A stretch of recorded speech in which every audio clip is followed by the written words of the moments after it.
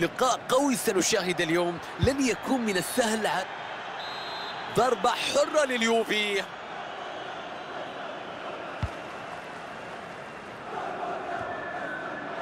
رأسية في الشباك. الله على هذا الهدف.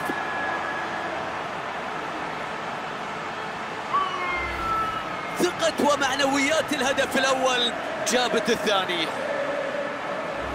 باير